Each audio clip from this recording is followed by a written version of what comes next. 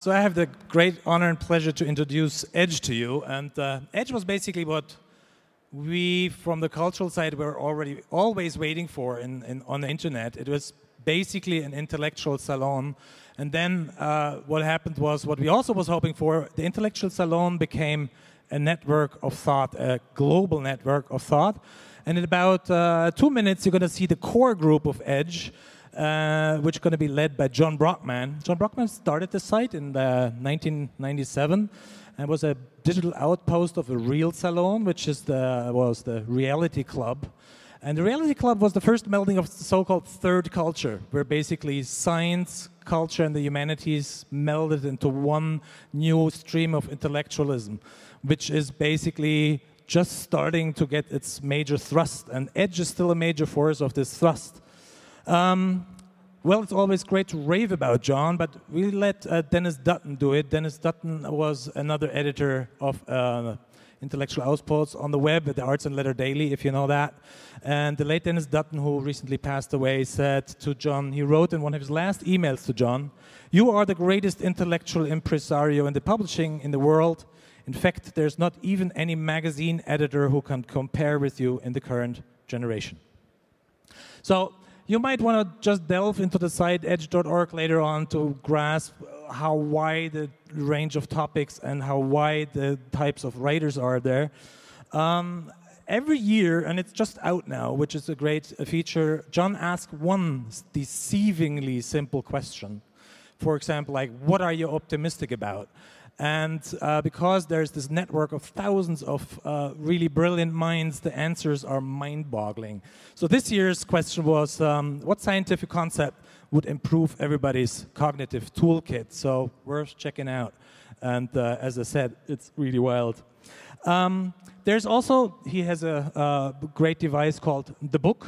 Um, so the question comes out every year. Um, the question from last year comes out as a book. And um, I talked to Martin Rowan last night, who's the editor in chief of Wired magazine. And uh, he's in this year's questions. I was in this year's and last year's. I'm, I'm in this book. I'm like, feel like a teenager. Um, he said, like, yeah, this is it makes you feel being an intern again if you're asked to um, answer the edge question of the year. So I wish I could tell you this is a really historic meeting now because you're going to have the four core people of Edge here on stage. It isn't because they've known each other for quite a while. This whole uh, development actually started in 1965 when a composer named John Cage gave a copy of um, Norbert Wiener's Cybernetics to John. And John and Stewart Brand ended up um, underlining Norbert Wiener's Cybernetics um, page by page in a frantic reading session of uh, two days. So this is where it started, and I welcome you to hear and see where it is now. Take it away.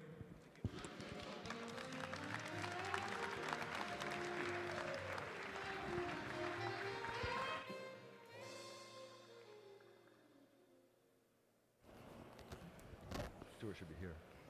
You're, you're all of you are here because of something Stewart Brand said in a very offhanded way as a remark to Steve Wozniak. This was in Marin County at an old army base by the sea. We were having the first hackers conference. Uh, Stewart organized it with Kevin Kelly's help, co-organizer, uh, got me to pay for half of it, and uh, all the original hackers were there, and uh, uh, I forget what Wozniak said, but Stewart said the following. I was there, right next to him. On the one hand, information wants to be expensive because it's so valuable. The right information in the right place just changes your life. On the other hand, information wants to be free because the cost of getting it out is lower and lower all the time so you have these two things fighting against each other. Uh, that remark was picked up by Kevin Kelly in the Coevolution Quarterly, in, which he published in 1985. And somehow, all of you forgot half of it. Uh, and information wants to be free became a, a mantra, it became an, an, ideology. It, it, for some, it's a religion. For others, it's a, it's a cash box for stock or speaker fees. But uh, I've always been wondering about the tension of the two fighting against each other and what happened to one half of the fight. And so, all of you know enough about Stewart. I will just ask him to get on. He's not even going to talk about this. Um, he is the author of, and I have the books somewhere. I? The recently published Whole Earth Discipline Why Dense Cities, Nuclear Power, Transgenic Crops, Restored Wildlands, and Geoengineering are necessary. Um, what we do uh, at these EDGE meetings is uh, it's always based on the interrogative, and we ask people to ask each other the questions they're asking themselves. So he's not here to talk about his book, which he was questioning himself about four years ago. Uh, he's on to new things, and I will ask him to pick it up. Stewart Brand.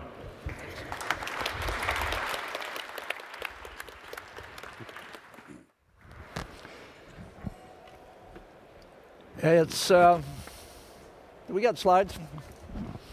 I'm an environmentalist. I've been an environmentalist since I was 10. Uh, that was 60 years ago. And it's tough being an environmentalist now because um, things have switched around. How are we for sound? Are we good? Because this is what's happening. With climate change, we're looking at a situation where us environmentalists, instead of protecting natural systems from civilization, we're now trying to protect civilization from a natural system, which is climate uh, responding to our apparently excess uh, greenhouse gases. And if they go ahead as we are today, then we won't get a stable climate until maybe 5 degrees Celsius warmer, which is exactly what it was 55 million years ago in the Eocene, Paleocene uh, thermal maximum. There's no rainforests in that world. Uh, there's carrying capacity for maybe one and a half billion of us in that world, and we would be tough getting from the seven billion we have now to the one and a half billion. So, what we want is somehow to keep the civilization friendly climate we've had for the last 10,000 years going for another 10,000 years. That would be nice. And then we get to keep having a civilization. So, in light of that, some different things are green than they used to be back when the modern environmental movement took shape in the 1970s. Some of our ideas and methods from them don't really apply now. We used to hate cities, but we're now realizing that cities are green. And they're green for one of the reasons that we uh, got worried about early on was the whole question of what happens with human population increasing. Well, the thing that happened with cities, as, as we are urbanizing now, which everybody is very rapidly, is the rural populations are dropping off, and we are also going to get to the place where the city populations also level off and drop. So we'll get to a point where a population will basically get to eight or nine billion, level off, and then head downward precipitously by the second half of this century. The reason is that cities, our population sinks. And as we get to 80% of population of the world living in cities, we get into this negative, uh, below carrying, the below level keeping birth rate, and then carry right on down. Kevin Kelly is pretty persuaded that uh, by the second half of this century, we will have a population crisis, but it'll be like the one that is in Japan and Russia, some in Germany, of not enough children happening. So, what's really going on is the big event, and Geoffrey West has been tracking on this, is that with 1.3 million new people in cities every week, 70 million a year, that goes on decade after decade, it is changing the world demographically and economically. Because the, the villages of the world are emptying out. That's good news ecologically because then the natural systems there grow back very rapidly, especially in the tropics. Where people are going is where the action is. Mostly squatter cities, slums. A billion people in slums now, another billion are expected in the next few decades. instead of being squashed by poverty, in these places, people are busy as hell getting out of poverty just as fast as they can. They are basically entrepreneurs. They uh, create jobs if they don't exist. They operate the informal economy, and they create their own homes, their own towns, their own economies, bit by bit. And that's where all the adaptation is in the world today. Demographers are saying, city planners are saying that basically squatters are the major builders of cities in the world these days. That's economic good news for the people there. They are getting out of poverty gradually. They're bringing their countries out of poverty, as in India. And they are moving toward the energy patterns of developed cities that we have here. So places like uh, here in Mumbai soon enough are going to look like downtown London. Everybody in the global south is tired of being sweaty all the time. They are going to get air conditioners. So they need grid electricity, baseload electricity, electricity that is always on. Cities are 24 7. If you're going to light up at night and keep warm in the winter, like here, and cool in the summer, you're going to need a lot of electricity. So far, the only clean forms of electricity come from hydro and nuclear that feed into baseload. Because as yet, we don't have storage for wind and solar, and you're starting to see green on green fights between environmentalists over things like wind. We're saying it's all very well uh, to get that nice clean energy, and it is, but it uses up a lot of terrain, basically 250 square miles for one gigawatt of electricity. And uh, here in Europe, you're starting to get experience with wind and realize that it takes a lot of subsidies to keep it going. So you're starting to see political cartoons like this from Britain. Same thing with solar. In California, a whole lot of people want to put a lot of solar, quite rightly, in the Mojave Desert. Well, the Mojave Desert is a green desert. And uh, when you bulldoze it for solar farms, uh, it gets pretty rough. So Bill Gates makes a nice distinction between energy farms using very dilute sources of energy like wind, biofuels, and solar, and energy factories that are very concentrated like coal, gas, and nuclear. To a certain extent, those concentrated factories are greener than the things that are big and wide and using up too much space. So I had to change my mind about nuclear, and by climate uh, forcing me to rethink uh, what's really green in terms of greenhouse gases. And the thing that an environmentalist wants to do is compare the waste streams. So the waste stream of what do you got? Coal are doing 40% of the world's electricity, nuclear about 16%. But look at what happens with the coal waste and the electri- electrical waste from nuclear.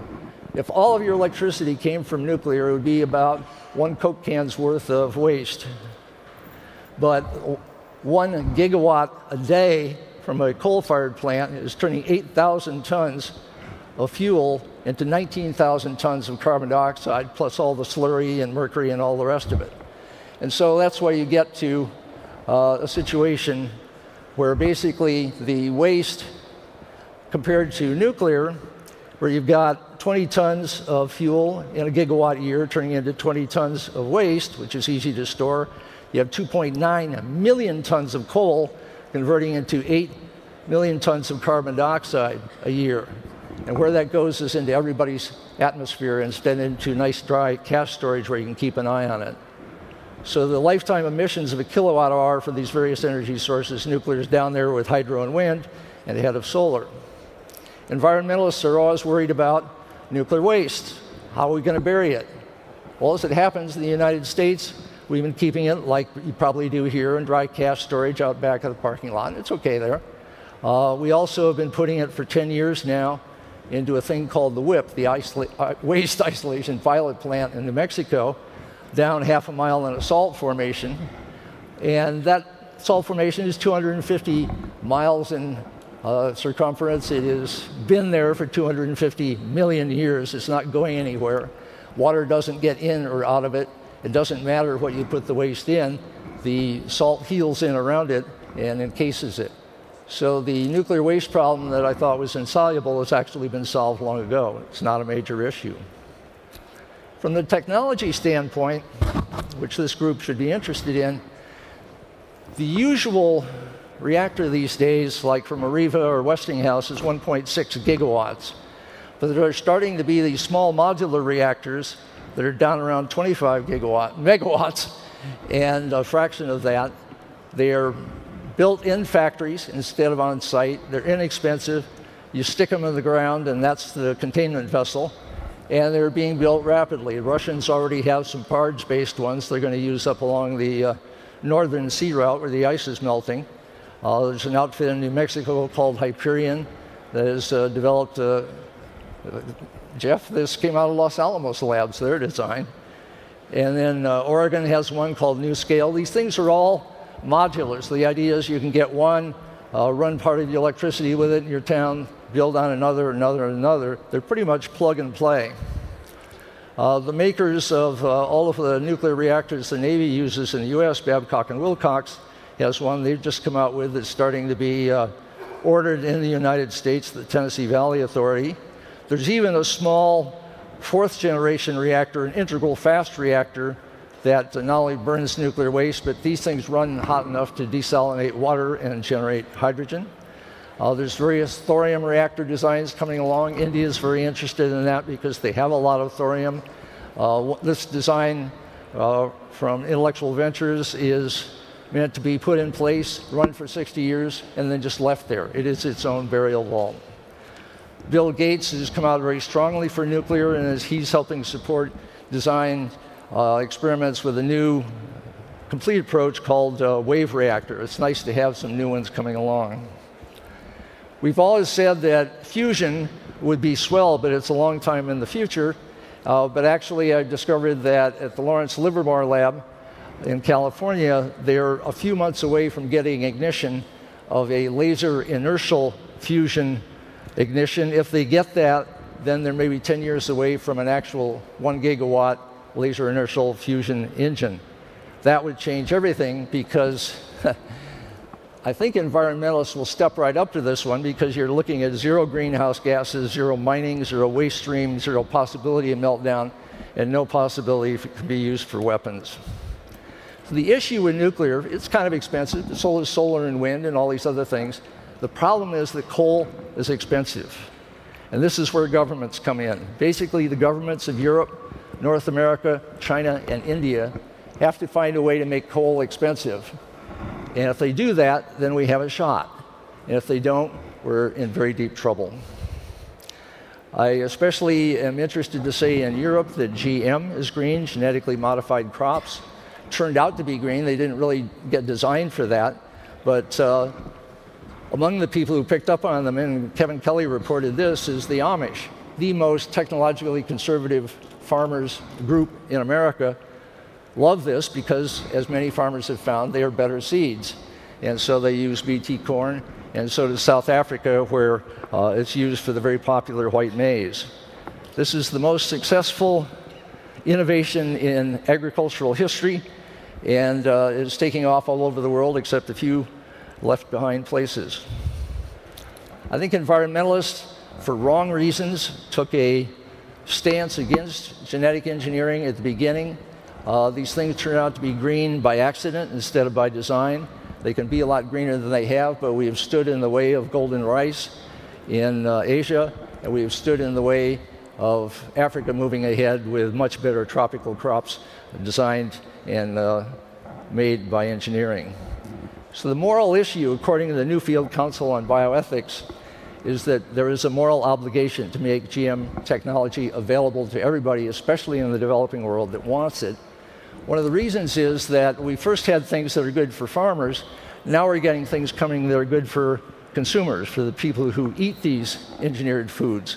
So, cassava, which is a staple for 800 million people, is actually a dreadful food. All it is is starch. But there's a version of it coming along that has everything you would want in it, including less cyanide, which is one of the aspects of that food. Uh, the things I've marked with a red dot here are all foods that we're going to want, such as peanuts that are not allergy causing, soy that would not be allergy causing, soy that has omega 3 fatty acids, that's already coming, and so it goes. Basically, you're moving from the rather slow pace of recombinant DNA to a much more rapid pace now, what's called uh, synthetic biology uh, is coming directly to children, much as computers have done. And you're seeing uh, every year now the iGEM meeting in Massachusetts. Uh, hackers are, these biotech hackers are getting together from 26 countries to uh, race their hot rodded microbes. So then we get to geoengineering. Geoengineering, at least the research is green. We don't know if we need it, but what we're realizing is that there's artificial infrastructure of bridges and things like that, but the river under the bridge is infrastructure too. The artificial infrastructure is based on the natural infrastructure, the forest, and especially the atmosphere and the climate that goes with it. So to keep this climate something stable like we recognize, now that we know there's lots of instabilities in this highly nonlinear complex system, we are stepping up to the realizations that a lot of things are going to frighten us into, in the next decade, uh, taking geoengineering seriously. We need to do the research now, and that's what we're moving up on because we realized that it can be very cheap. Uh, it was free in 1991 when Mount Pinatubo blew and cooled the whole planet off by half a degree Celsius. Uh, here's a version of doing an artificial uh, volcano every year from the group in Seattle and for a couple of hundred thousand a year, uh, putting up sulfur dioxide in the stratosphere at a rather small quantity can keep the planet cooler by three degrees Celsius as we increase things. So we are now in an era called the Anthropocene, an era in which humans are running way too much of the atmosphere and everything else badly. We're in a situation where we don't have a choice of stopping terraforming, we only have a choice of terraforming well. That's the green project for this century. Thank you. Thanks.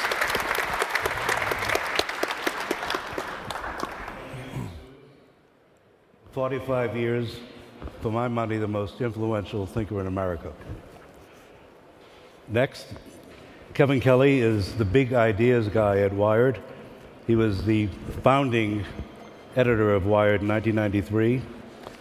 Uh, he's still connected to the magazine as their advisor. And uh, in terms of running Edge, when we do the annual question, we start in August and start emailing each other. And it goes on and on and on. And typically it's Kevin that comes up and cuts through the crap and has the big idea. And uh, he's always exciting. Kevin Kelly.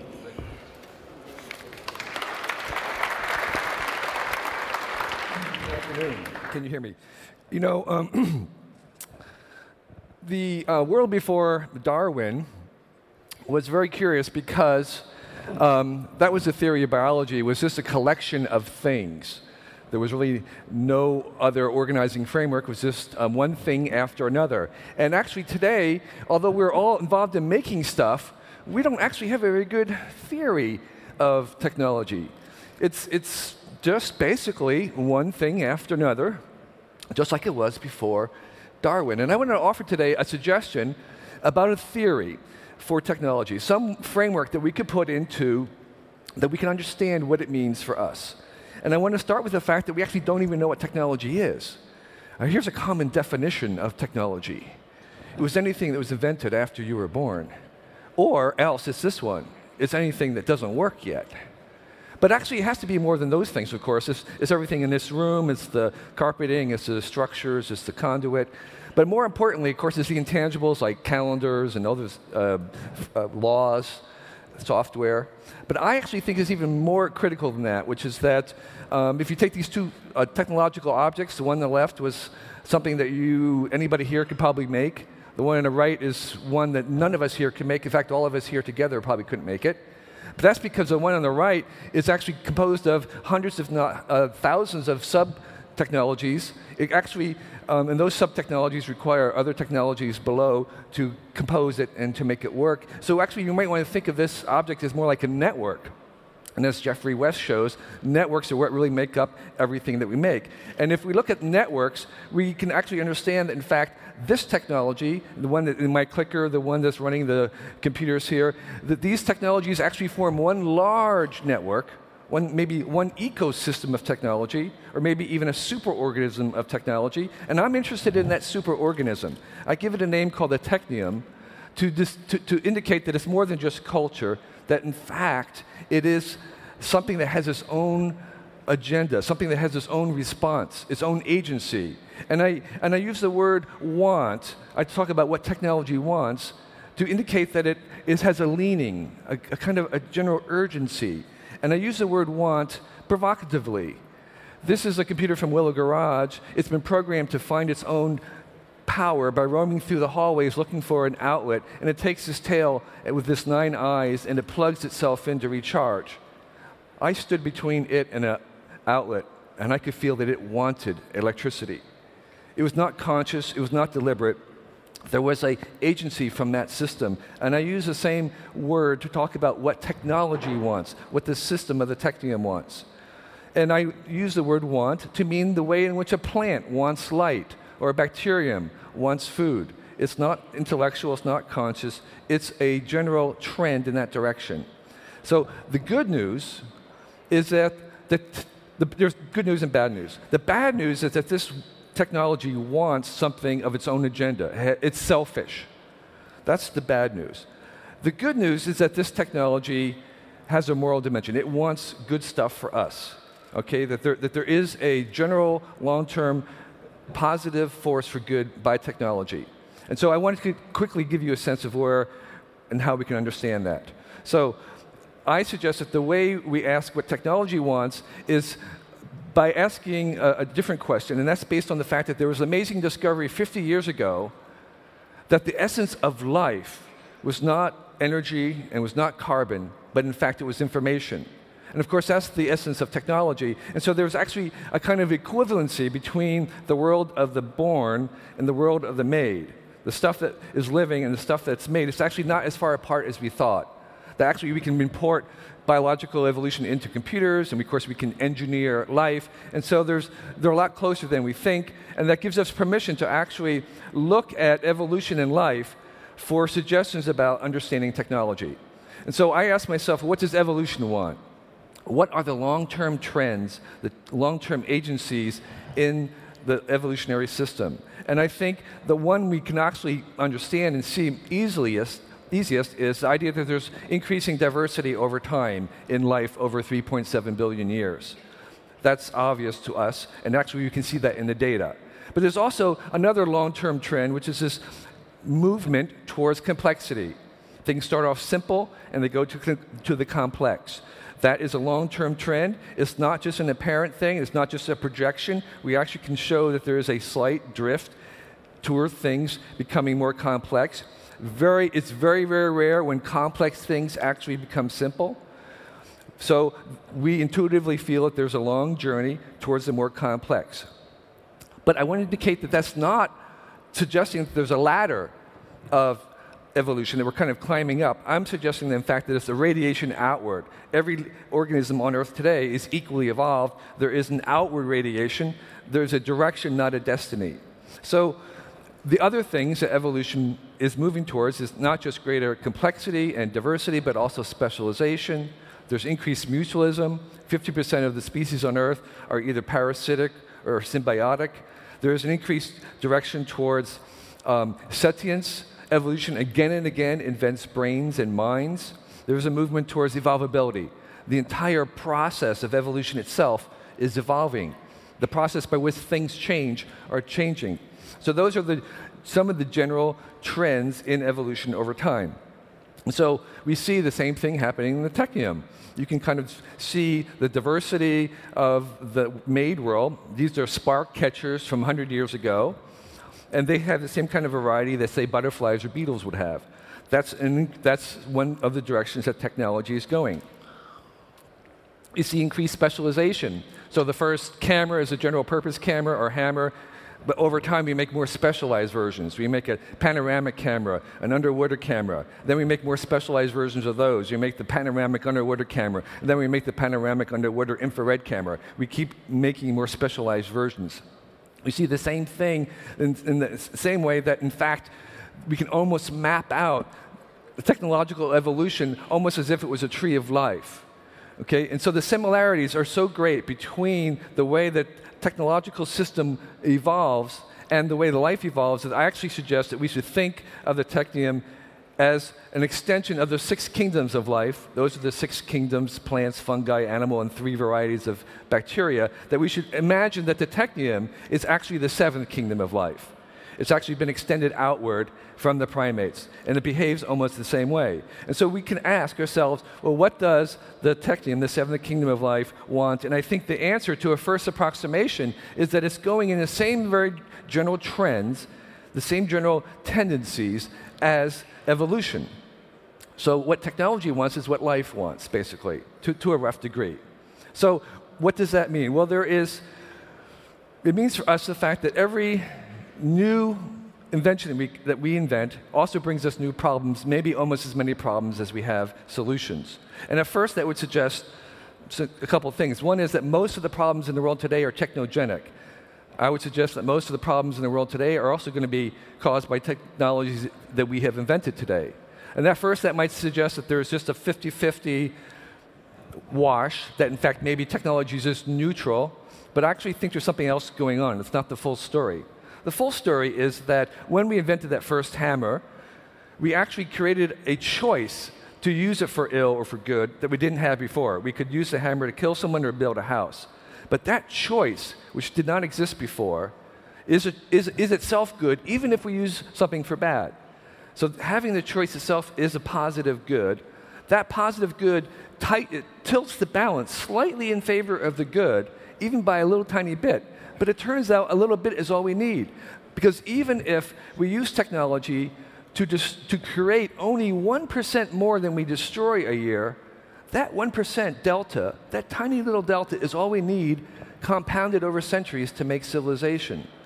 So, in fact, a tiny incremental delta created by the fact that we're creating new choices with everything that we invent, including the choice to use it for harm.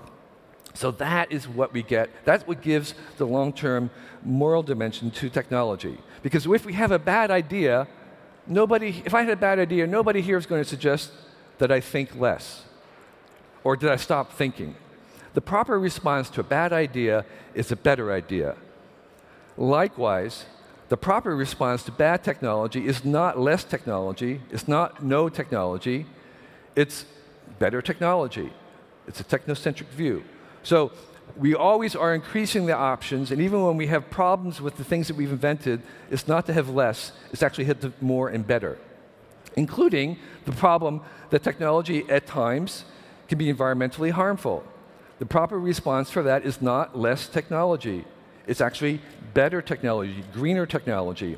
And so far, we've seen, to our best of our knowledge, we've not invented a technology that we could not invent an even, green, even greener version of. And so that means that, in a certain sense, the technium is not inherently anti life if it is the seventh kingdom of life, it is inherently compatible with life. We've always been able to make things greener. So, what that means, I think, is that we're involved in trying to relocate technologies. We, it, we want to make a convivial form of them to find the right job for them. So, DDT was an invention, a molecule that we used and we sprayed it in millions of pounds on millions of acres of agricultural as a, as a, a pesticide, and that was a total environmental disaster. The same invention, the same molecule, relocated and sprayed judiciously around households in the tropics is the best eradicator of malaria, saving hundreds of millions of lives a year. We relocated that technology. Rather than ban it, say less technology, we said, no, let's have a better idea. So, what does technology want? I think it really wants one thing. We could collapse that long list of things that evolution wants and say that what technology really wants is increasing differences, diversity, options, choices, opportunities, possibilities, freedoms. That's what we get from technology. That's what it is bringing to us, everything that we invent. So that while we are sitting here and at home or at work making new stuff, making new things, that sometimes we feel, well, we're just kind of feeding the consumerist machine, the capitalist machine that's driving all this stuff that we consume, and maybe it's ephemeral and we don't use it very long, we throw it out. And maybe at times we're seized with doubt about whether this is worthwhile. It may be that we're not doing anything more than that at times, but in fact, I think we are when we make new technology, we're actually increasing the possibilities and choices and differences in the world. And the reason why that is good is because most of us need some kind of tool to help us find and express our genius. So Mozart needed the technologies of the piano and the harpsichord to actually find and develop his genius, or that could have been Beethoven or anyone else. But imagine if Mozart had been born 2,000 years before the invention of the piano or the symphony. What a loss to us and to him that would have been. Or imagine if Van Gogh had been born 2,000 years before we had invented oil paints and canvas. What a loss to the world and to him that lack of technology would have been. Or, you know, what if we had not invented the technologies of cinema before, say, Hitchcock or Lucas had been born? What a hole in our culture that would have been. That means that today, somewhere in the world, there is a boy or girl born, some Shakespeare of their generation, who is waiting for us to invent their technology so that they can share their genius. So we have an obligation to actually increase the amount of technologies in the world. We, just as we have benefited from those in the past who have invented uh, stuff for us. And so what we want to do is to increase those possibilities in the world, but more importantly, it actually connects us to something even longer, which is that there is a long term trend in the universe of increasing self organization, which began at the Big Bang, and self organized galaxies which self organized stars, which are furnaces to self organize heavier metals out of lighter atoms.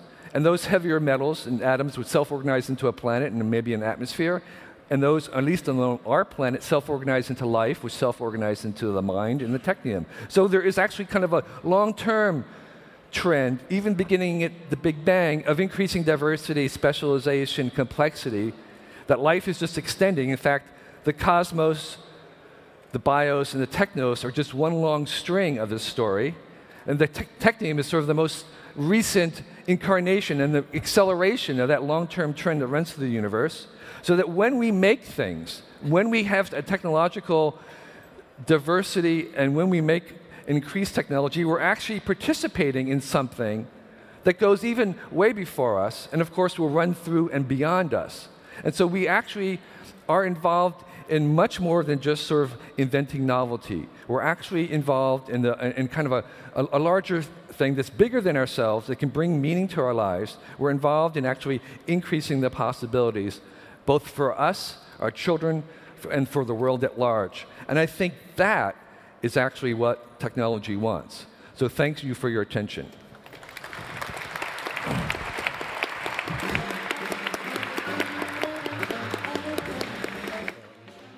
Thank you, Kevin. Uh, uh, I just want to add that Kevin is the author of two fabulous books, Out of Control and New Rules for New Economy and the recently published What Technology Wants. Also, it's interesting that he has no college or university degrees. George, I don't believe, went to college. I made the waiting list at a college. Um, Stewart's the educated person here. It, it's interesting in terms of concerns about what's happening in America with the educational system. Uh, David is here, the great computer scientist, and talks about how science gets pushed out of the universities. Um, but I don't even know if the universities are the place where it happens. That's interesting. Uh, our last speaker, and we, we have a time issue, is George Dyson, uh, author of Darwin Among the Machines, Project Orion, a science historian among futurists. I met him when he lived 40 feet high in a redwood tree uh, he's come down, uh, which is good for us. He spent the last seven years on a book entitled Turing's Cathedral, which is the name he came up with for the Google campus. Uh, he's worked for seven years on what I consider the creation myth of the digital realm, starting with John von Neumann in Hungary and leading to his talk at Mountain View uh, on the 60th anniversary of von Neumann's famous paper. George Dyson, uh, sister, brother of Esther, son of Freeman, and the smart one of the family. Thank you very much. It's, it's great to be here, and I thank the, the Burda family and, and Steffi and John Brockman for, for me being here. And I thank my sister Esther, who used to do a conference like this, for, for introducing me to Brockman. But we, and I, I, I didn't bring slides, but I brought a, couple props. So we're, we're really all here because of Stewart Brand. And, and this was his, uh, was a 1972 Rolling Stone article turned into a book. And the title was Fanatic Life and Symbolic Death Among the Computer Bums. And, and here we are, we're still here. He's still, Stewart's still hanging out among the computer bums. But, but Stewart really helped make this industry, which was not an industry then, it was, it was a hobby. He, he brought it to Rolling Stone and made it, made it fashionable. In a way, that was a very important moment. And I urge anyone to, to reread this. He, he sort of got all the things we're still working on today were part of that uh, original story. So he, he went and visited people who were setting up the first 20 nodes of the ARPANET, were already using it for games. He talked to the people trying to build something called the Dynabook, which was a laptop, you know, way too ahead of its time. So that I'm a historian, and in the history of computing, there's really there's an Old Testament and there's a New Testament, and the the Old Testament, the prophet really was, was Leibniz from, from here in Germany, who, who believed in this perfectly definable digital universe in which everything could be defined with, with binary code and all truths would be discovered. And he went to the grave believing in that, and it, it, it looked really good for a long time.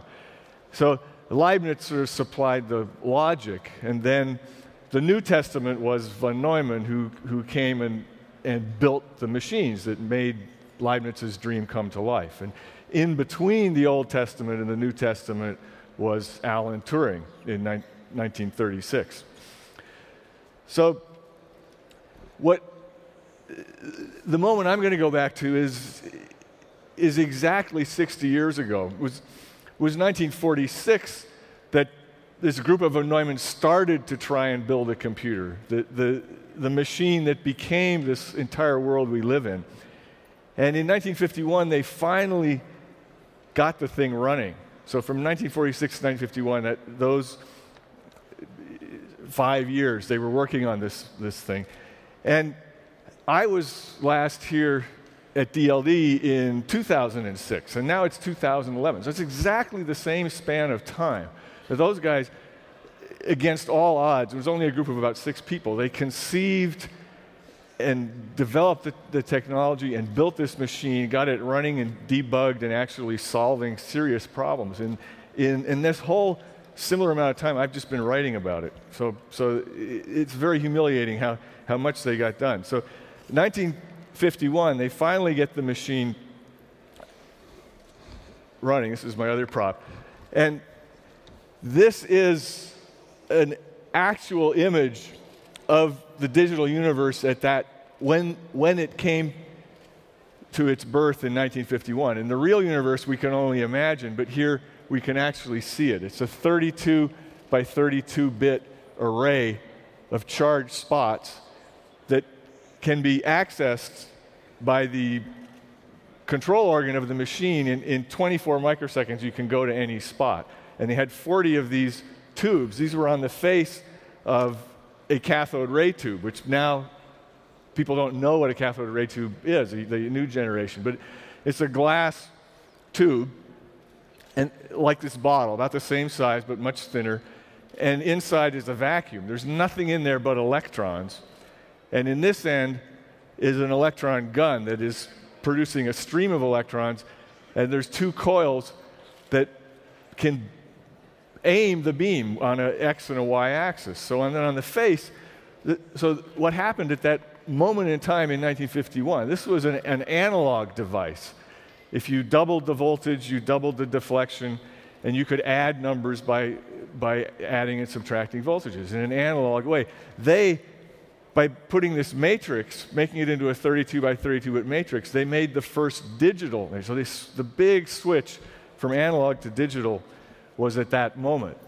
And then, of course, that was the origins of software because they started writing codes that, that would use this memory. So we switched from having numbers that represented things and meant things for the first time to codes that were numbers that could do things. And that was the profound, uh, really, sort of moment that we're all still in, in the repercussions of. That if you took, uh, it took five bits to specify a position on this axis and five bits on that axis, that, gave, that was 10 bits. You would go to one of these locations, there were 40 of these tubes, you, you put in 10 bits, you got 40 bits out. That, that was a chain reaction, just like the nuclear weapons they were trying to design. So we went from analog to digital. They used that machine to I have here a list of the problems that they, they worked on. They worked on, here I've put an axis in time, and here are five different problems they worked on. They worked on nuclear explosions, which were on a time scale of, of 10 to the minus eighth seconds. They worked on shock waves, which were over, over you know, fractions of seconds to seconds. And they worked on meteorology, which was in the middle, was sort of minutes to months to years. And they also worked on biological evolution over, over hundreds and thousands of years. And then stellar evolution, which is the evolution of, of stars and solar systems up, up to 10 to the 17th second. So a time scale of, of 25 orders of magnitude. And we happen, what's interesting is that if you, if you look at what's the exact middle the exact middle of that whole, t- whole time scale is two hours, which is about the length of a Hollywood film. That somehow we, our perceivable universe, sort of the time we can take to tell a story, is right in the middle of, of it. And I, that may just be an accident, or it may be, I think, have something to do with what Kevin is talking about, how we really are a product of this entire universe. So that's how we got here. Then from that perspective, where are we going next? Where is this whole digital world going? And I'm going to completely, uh, you know, risk being thrown out of here by saying that, that not that digital is over, but that we're going, we've already gone into a new phase that, that people just are not recognizing yet, that we're going back to analog. We're taking that cathode ray tube back the other way. And that if you look at what's really exciting people here most, it's the things like Facebook, Google, search engines, and so on. And an awful lot of what's being really done there is actually analog computing. That in the world of nature, in the world of brains, there's no digital code where a, a certain bit has a certain meaning. It's, the computation is done in the analog way where frequencies uh, have meaning and where things connect and topology has meaning. And if you look at a search engine, that's exactly what's happening. It's counting the pulse frequency of connections between topological points. If you look at what Facebook does, if you, if you took, say, a, a small high school and tried to write an algorithm that defined who was friends with whom, you would be completely lost very soon because every day somebody breaks up and then somebody's friend is not somebody's friend. You could never keep track. And what, what Facebook does this for 600 million people. And they do it, they did it by building an analog computer, by simply connecting, allowing all the people to connect with a very simple digital code. You don't, when you join Facebook, you download very little code, and then the whole system becomes its own analog computer that maps the, the changes in the connections. So pulse frequency coding, template based addressing, which is how molecular biology stores information, not, uh, you know, you get the next molecule by saying you want the next molecule that more or less matches this template. And that's how search engines work. You can get a match to a address without having to give a precise numerical address.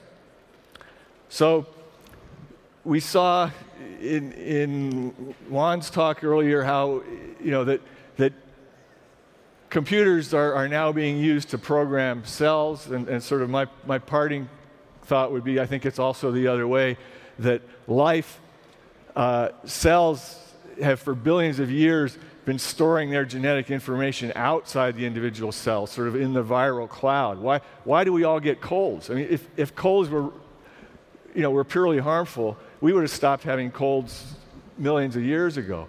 We get colds because we need that input output mechanism to get genetic sequences out of the viral cloud. That's an important interface.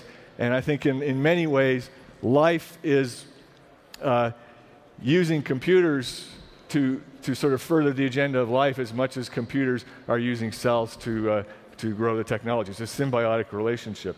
So, uh, in a way, we're still living in the, in the world of, of Leibniz, but it's, it's, uh, it's definitely going somewhere else, and we're not, we're not going to have to.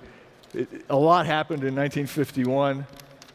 Uh, we went from zero kilobytes to the, mem- the memory in this computer I talked about, they did all that with that. That memory was five kilobytes. You used to be able to say that was the memory of a desktop icon, but, but icons have, there's icon bloat. So now it's, it's the memory of your cursor is five kilobytes. And the, the year I was born, the total memory in the world was 53 kilobytes. So thank you to, to Stewart and everyone else. Here we are.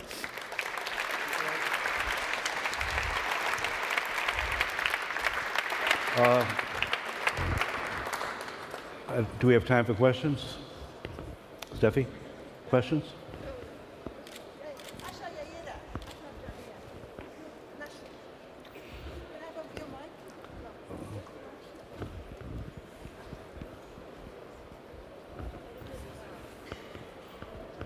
I don't know if Deepak Chopra is here somewhere in the crowd, but I know he's going to love this whole idea, this notion. This whole notion of, you know, sort of Indian, old Indian mystics would argue that this is what consciousness has always, you know, desired, which is that machines will, uh, will cooperate with, with the human mind and with the human, you know, soul, so to speak, to evolve in a symbiotic sort of a way so that we evolve as a species towards greater freedom, creativity, and, uh, and greater play. And that's what we're heading for. And I, you know, I'm beginning to sort of, in my, in my talk tomorrow, what I'm going to speak about is this whole idea that the old institutions that have limited the human, uh, you know, the human endeavor are slowly crumbling. And uh, I, I think these technologies that you've been talking about are playing a, a sort of a pivotal role in, um, in, in, in uh, ushering us towards an age of freedom and creativity. And technology is just an accomplice to this whole mission. But there's a whole mystical story to this, which is, you know, over 5,000 years old. And it is so beautifully documented in some of our Upanishads and so on. And I, I just wish Deepak was here to answer some of this because it's just written almost in mathematical language. And I hope to share it with you informally in the next few days. Thank you.